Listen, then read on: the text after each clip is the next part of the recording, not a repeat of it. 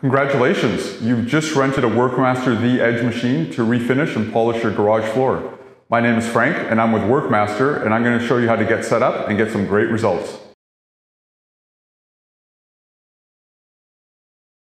In order to protect ourselves from the environment that we're going to be working in, we want to make sure we're wearing a dust mask, we have eye protection, ear protection, and we have some good quality work gloves.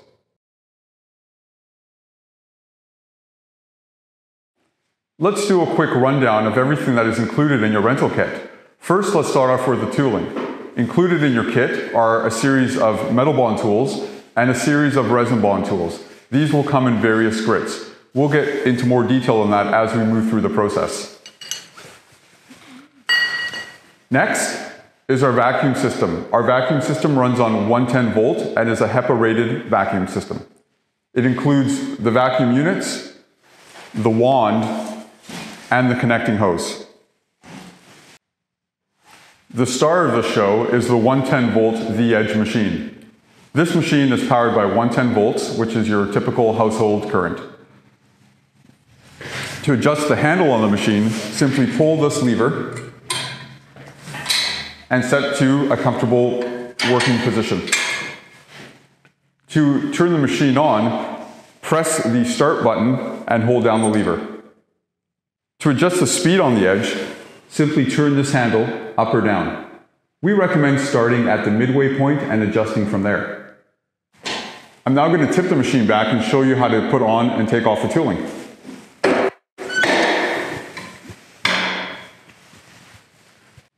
The Edge uses our WerkMaster plug and go tooling system, which requires no tools to remove or install the tools. Simply pick up the tool, install the supplied compression foam over the shear pins and install onto the plate. You are now ready to grind. To change out the tools, remove the plate, take off the compression foam,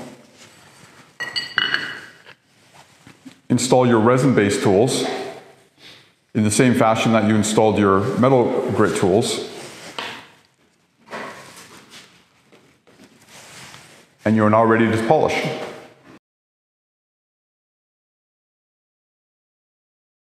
In order to keep dust down to a minimum, the edge comes with a high quality dust skirt. You want to adjust the skirt though, so it was just proud of the tools. In order to do that, remove the Velcro from the front, remove the skirt, and adjust accordingly. Do this on both sides.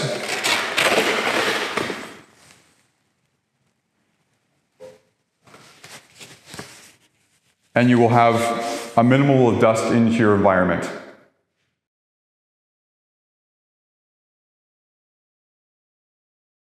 We're just about getting ready to grind our floors. But before we begin, we want to quickly do a walk around our job site and we want to look for anything that's sticking out of the floor like a metal object, a bolt, a stud, and we want to make sure that we grind those flush with the floor.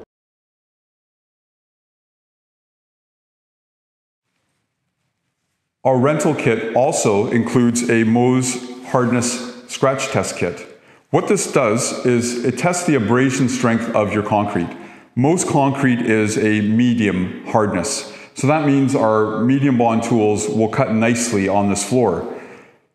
But what we want to do is confirm that. So we start with our Mohs test kit here. We start with a nine pick. Nine is a very, very hard pick. So that means that if this floor does not scratch with a nine, it is very, very hard and may be difficult to cut open. So how we use it is that we take our pit and we just simply perform a series of scratches.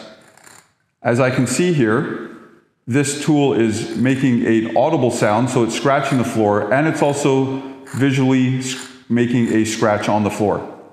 So we know the floor is not a 9. So pick over to the 8, and we start scratching.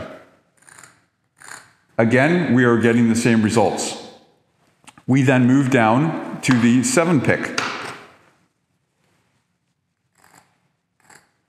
And start scratching. As you can see, this pick is not scratching the floor quite as much as the 8 and 9. So we turn it over to the 6. Very, very similar results. This floor is scratching at about a 6 in hardness. So our white medium bond tools are the right choice. We are now ready to start grinding our floor. We are starting with our 30 grit tools. To energize the machine, simply plug it in to your 110 volt cord and the machine will automatically power on. We've got our 110 volt vacuum. We want to hook that up to our dust port here. Make sure that is good and tight. And we have adjusted the handle to a nice comfortable operating position. In the next scenes, I'm going to be wearing my safety gear and I'm going to do a demonstration on how to run the machine. But basically, what you want to do is don't start right at your corner or at your edge, work into the edge. Um, you'll want to run the machine in a straight-ish forward manner and then S over it back. And I'll show you how to do that while I'm all suited up and grinding.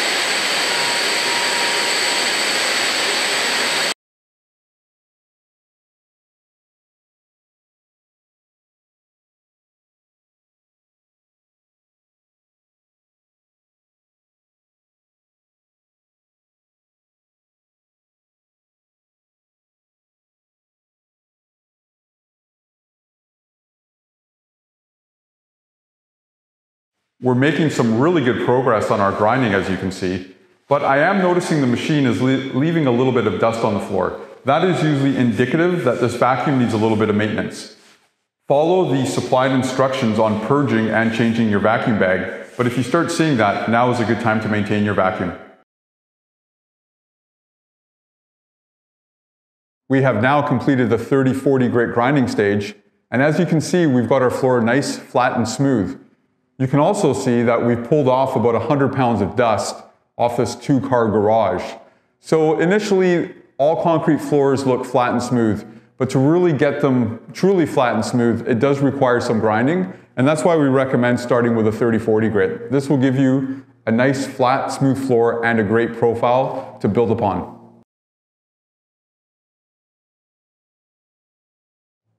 We now have put the 70 grit tools and we're ready for our next stage.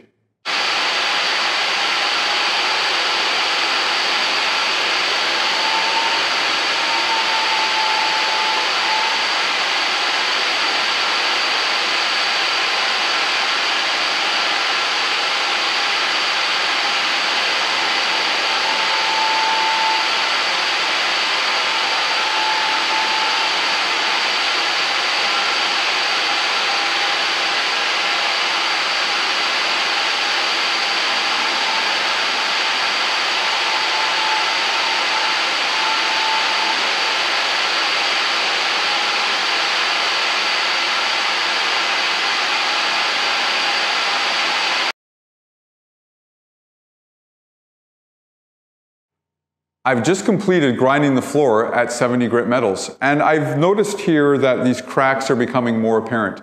This is an optional stage, but if you want to fix them or cover them up a little bit, um, there's definitely a process in doing that. So what you can do is uh, go to your local concrete supply store and grab a good quality floor patch repair material. Um, and then what you want to do is mix it almost to the consistency of drywall mud and just place it in the crack. Before you place it in the crack though, make sure you thoroughly clean it out. So it's a pretty simple process. And you just patch it out. Sometimes a second application is required as this patch can shrink a little bit. Um, putting a second application gets it nice and flush to the floor. Once you're done uh, all the patchwork, give it a good overnight to dry and come back the following day and hit it with those 70 grit metal tools that you still have on that machine to clean it all up.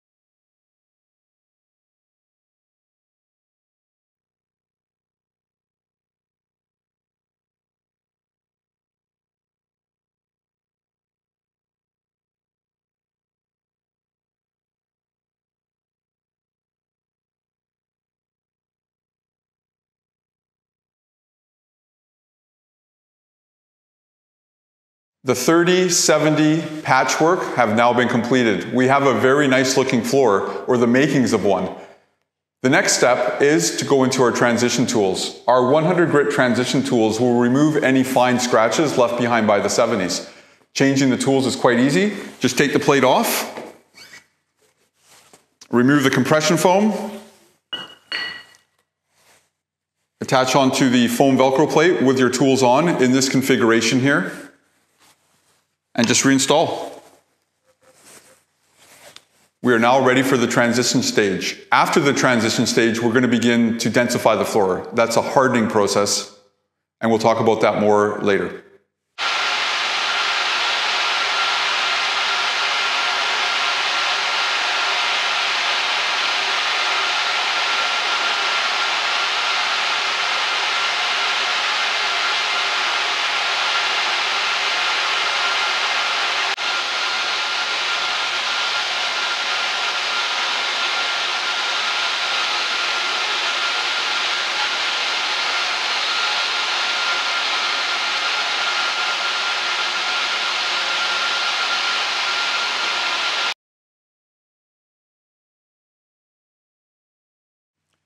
Densifying is a very important part of this process. We've just removed the top layer of concrete with our diamond tooling, and we've left the floor relatively soft and very water soluble. So that, that means that if you do not harden the floor, it is going to continue to dust up on you.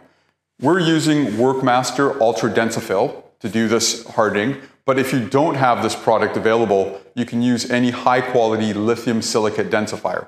Application is easy simply spray down and working with your microfiber applicator. It's best to have a helper for this process.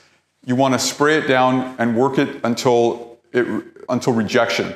You don't want to pool the product, but you, you want to make sure that you have enough down so that the floor stays wet for at least 20 to 30 minutes. A little bit more. I need more. Oh, yeah. Keep going.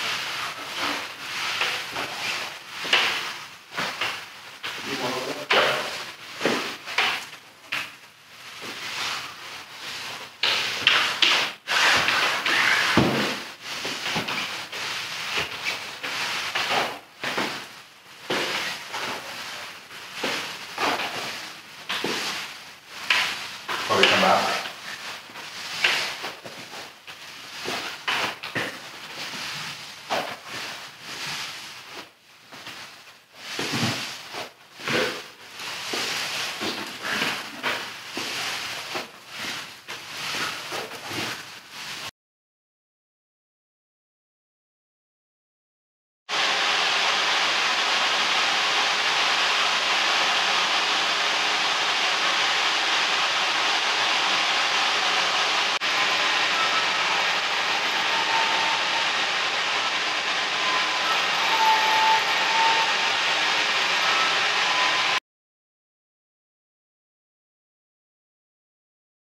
We have now taken the floor up to our desired sheen. In our case, it was the 800 grit resins. And as you can see, we've got a nice shine. Our final step is to protect the floor. And for that, we're using our UltraGuard sealer. If you don't have UltraGuard, you can use high, any high quality guard, and that will give you good results as well. The sealing process is very similar to the densification process. You spray it down with your uh, pump up sprayer and put it down with your microfiber applicator. You'll want to put down two coats of our UltraGuard sealer. Two coats will give you maximum stain protection as well. Ensure not to over-apply the product. Two light coats is all that's needed.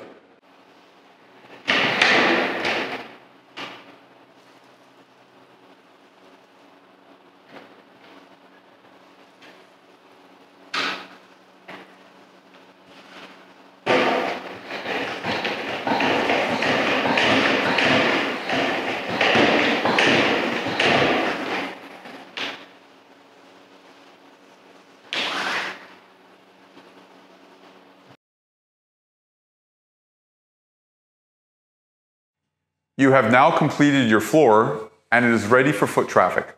Avoid water for at least 24 to 48 hours and you should be good with a nice polished concrete floors. Congratulations, you are finished. You can now enjoy your polished concrete floors. Thank you for watching and for more information, please visit werkmaster.com.